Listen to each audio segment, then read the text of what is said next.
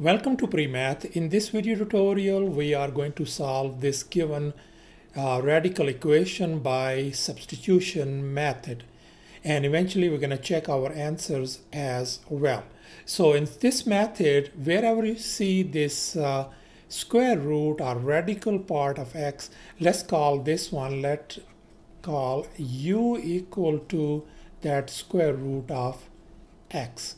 So the next thing is I want you to square both sides. So u square equal to square root of x and then square.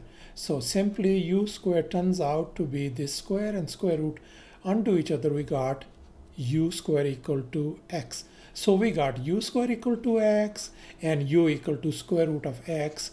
We are going to plug these things over here in this our original equation. So wherever you see x, x is being replaced by u square minus a time we know the square root of x is u plus 15 equal to 0. Now you can see that this is a quadratic equation.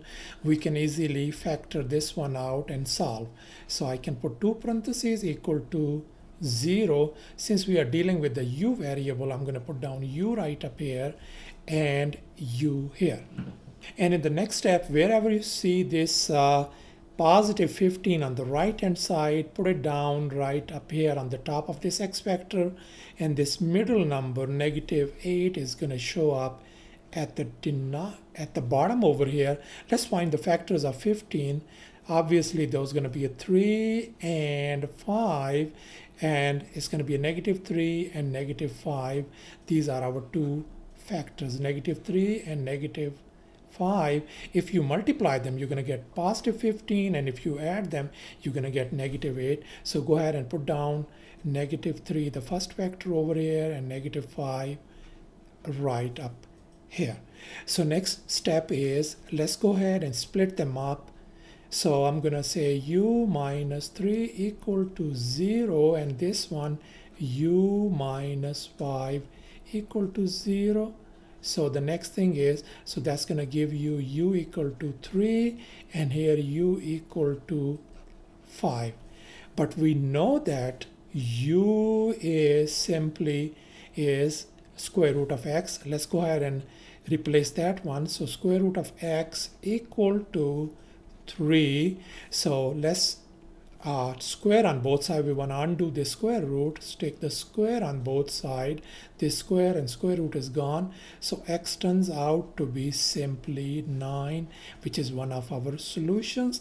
Let's do the same thing on this side. u once again is square root of x. Let's put down square root of x equals to 5. Let's remove this square root part by taking the square on both sides this is gone. So x turns out to be 25 thus our solution turns out to be x equal to 9 and x equal to 25 in the next step we are going to check our these answers. And in this next step we are going to check our these two given answer x equal to 9 and x equal to 25 so let's go ahead and check x equal to 9 if it is going to work for us. So wherever you see x, you replace that one by 9. So that is simply going to give us 9 minus 8 times square root of 9 plus 15. My question is, is it equal to the right hand side, which is 0? Let's simplify the left hand side. 9 minus this a square root of 9 is 3 so 8 times 3 plus 15 so 9 minus 24 plus 15 so this if you add and subtract that's going to give you 0 and the right hand side 0 my question is is this statement true? Yes of course indeed this is true. So thus that means this x equal to 9 is our answer that has been checked. It's a good solution. So next we're going to check x equal to 25. So wherever you see x, replace it by 25. So this becomes 25 minus 8 times square root of 25 plus 15 is it equal to the right hand side which is 0 let's simplify.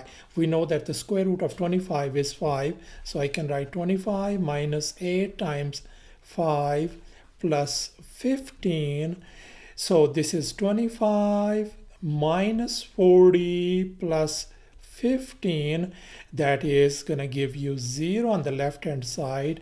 And we know 0 is on the right side as well.